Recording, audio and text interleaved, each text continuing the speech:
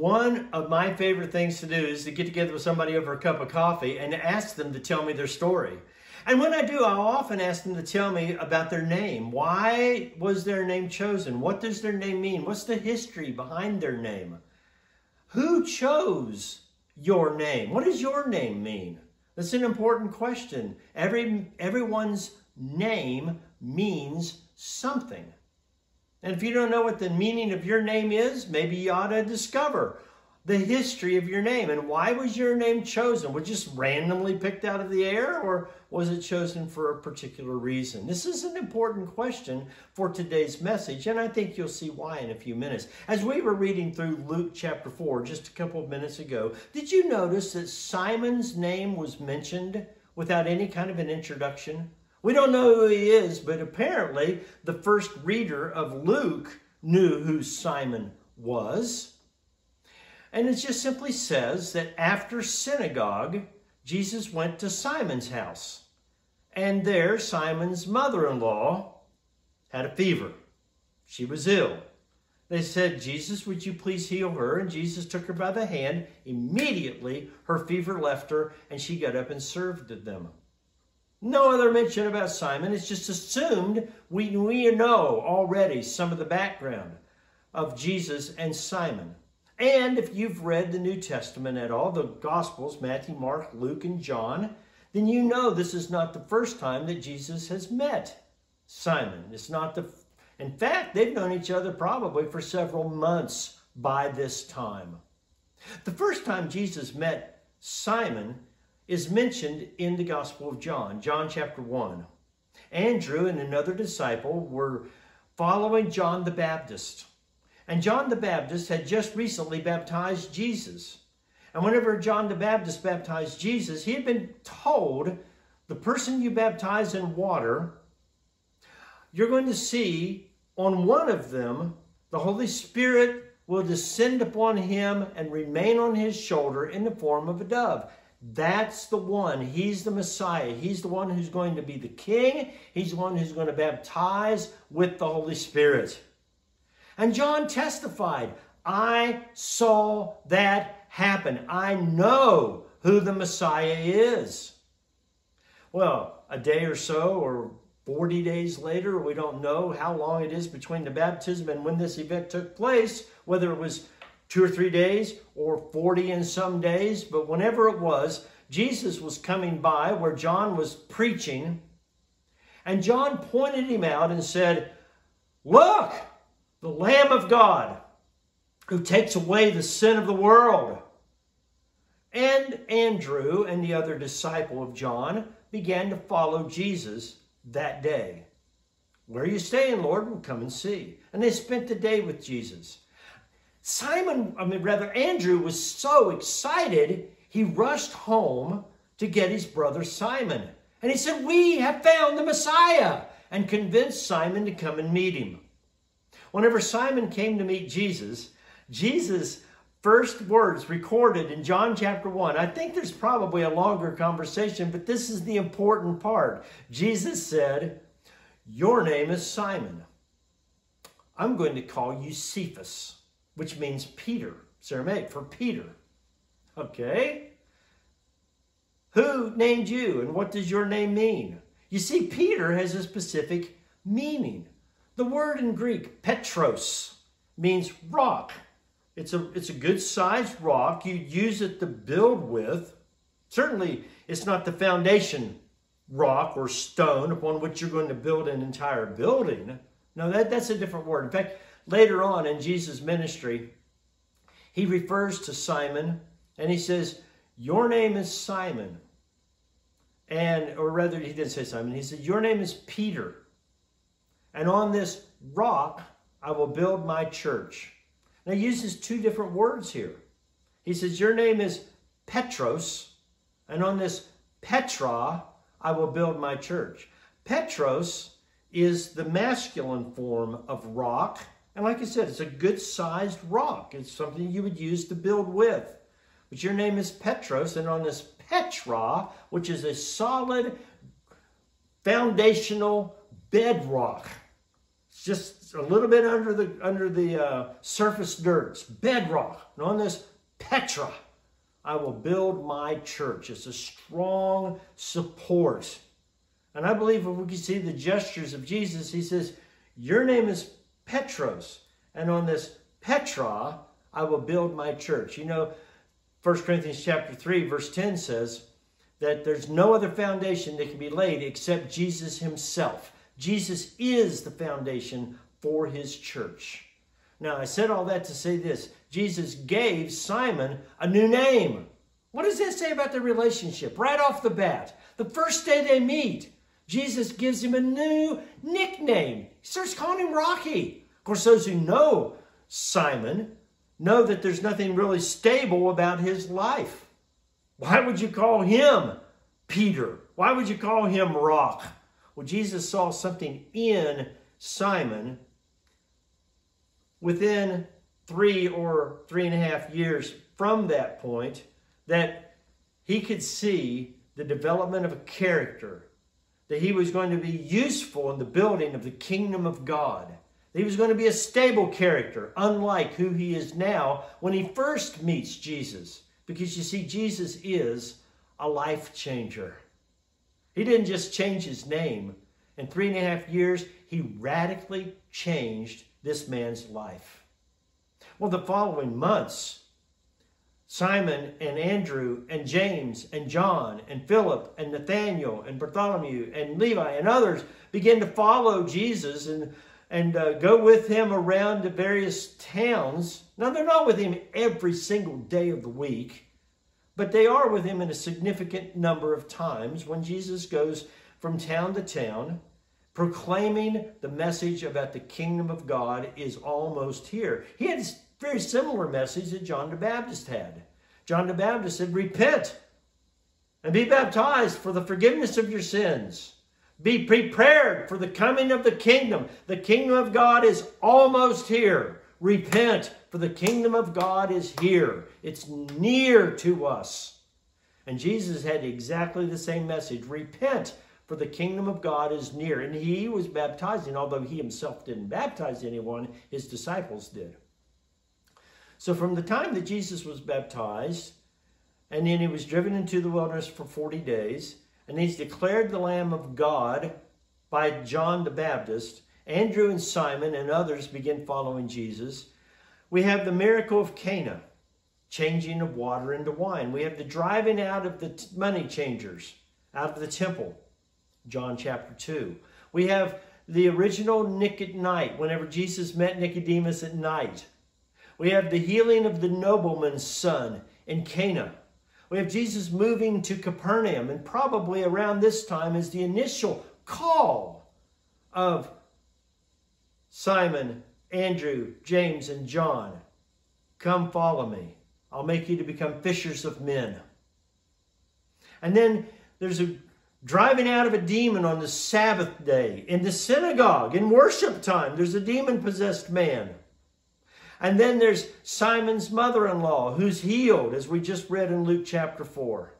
And Jesus travels throughout Galilee and to various synagogues, performing miracles and proclaiming the kingdom of God, healing lepers, healing the blind, casting out demons. One of the things we find interesting about these demons when Jesus cast them out is this not a mental thing. This is a true evil spirit possessing a person, and Jesus silenced them because they were having conversation with Jesus. Why are you here to torment us early? We know who you are, most holy one, the Son of God. And Jesus rebuked them and told them, Shut up! Put a muzzle on it. You don't say another word. And Jesus displayed power over the demonic. And then Jesus was so popular that the crowds around the surrounding region and Judea and Jerusalem in Galilee, they had come there to hear Jesus speak. And many of them were ill. They came there to be healed. And there was such a crowd on, this, on the beach of the lake that Jesus asked Simon, Can I sit in your boat and teach the crowds? Well, Simon wasn't using his boat at that particular time. They were washing, mending their nets. And so they said, Sure, go ahead. Because you see, they'd been fishing all night long, but they hadn't caught anything. And I don't know if you know what that's like. I know what it's like just to go with a fishing pole and a line and fish and fish for hours and not catch anything. But I don't know what it's like that it's my livelihood. And you go out on a boat and you drop a net and you pull up the net, and all you have is seaweed and algae and, and uh, sticks and no fish. You drop it again, and all night long, back-breaking, hard labor all night long. No fish. And then Jesus is sitting on the edge of the boat, keeping the crowds on the edge of their seats. Well, they're not really seated, they're standing while he's seated, okay? And Jesus is telling them things like, what will happen if you only have the faith of a mustard seed? About the sower who sowed the seed about the kind of faith it takes to move mountains. Whenever you pray, whatever you pray for will be given to you if you pray in my name. You need to have faith. Don't worry about tomorrow. Tomorrow has enough worries of itself. Don't just seek after money and all the gains of this world. God will take care of you, O ye of little faith. Jesus is speaking to the crowds, and then maybe he even told the parable of the fishermen who went out to fish. And the kingdom of God is like the ones who dropped the net over and they caught so many fish and then they separated the good from the bad. And that's what the kingdom of God is going to be like. He dismisses the crowds and then he turns to Simon and says, You want to go fishing? And Simon says, Lord, we've been fishing all night long and we haven't caught anything. Come on. Drop your net out into the deep. All right, master. It's interesting. He uses a unique term here called master. It's, it's like the word boss or a higher supervisor. Not quite Lord who owns a slave, but the boss who has the final word. And so he says, okay, you, you say the word, we'll do it. So they rowed out, and you can see maybe Jesus sitting on the boat, and he says, How about right here? and Simon's thinking, Oh boy, this is right where we were last night. I don't know if that happened or not, but he drops the net over the side of the boat. And almost no sooner had the net hit the water and fish began to fill that huge net he and Andrew began pulling for all they were worth, and it was just too much for them. The nets were almost breaking. They were so full of fish. They called for their partners, John and James, Zebedee boys, come out here, we need your help. And all the rest of the ones who were working with them jumped in their boat and they came out and they helped them unload that net full of fish. And they dropped it again and they filled up their boats and they ended up filling up both boats, we're told in Luke chapter 5, to the point that both boats were almost sinking. Now, at this time, Simon is so busy with the, the catching and pulling and dumping of fish, he didn't have time to think this thing through. But as he drops the last bunch of fish into his boat, it hits him. We were on our own. We were fishing all night long, and we hadn't caught anything. One time out with Jesus, and two boats full. Now, I, I wonder if, if it were you or if it were me, might he say, hmm, I wonder if Jesus be willing to go into business with me. I mean, we can make a fortune. hey, Lord, you want to go fishing tomorrow? But, but it hits him. He's been listening to the teachings of Jesus. He's been walking with him for months, listening to him in the synagogues, watching him perform miracles. He just saw a miracle earlier, the healing of his mother in law, instantaneously when he took her hand. The fever was gone, and she immediately was able to get up and serve. It wasn't just a psychological thing, it was a full physical healing. He saw it with his own eyes. And now, oh, oh. And you can just see the unraveling of a man as he recognizes here is a man who not only teaches something, but he does what he teaches. He is who even the demons claim him to be the Holy One of God. He's the Lamb of God. He really is the Messiah. And then Simon comes to Jesus and drops to his knees and says, You, you have to depart from me, Lord. I'm a sinful man. You have no idea where I've been, where I've slept. You don't know what kind of life I've been leading. Lord, I, I don't deserve to be with you. And Jesus raises him up and he says, Come on, Simon, don't be afraid. From now on, you're going to be not catching fish, but catching people. Now, I don't believe that this passage, I should say, I believe that this is a separate event than what happens that's recorded early in the Gospel of Mark, where he initially says, Come follow me, I'll make you to become fishers of men. Later, he's, he is this event, and this is the final call for, for Peter, Simon Peter, to surrender all and be a disciple, a sold out disciple, to be, we would use the word today, radicalized. He is willing to be radicalized. That is to have his whole way of thinking completely turned right side up so that he can see the world the right way. I think he's heard enough from Jesus to recognize this. I want to learn how to live and how to love from that man.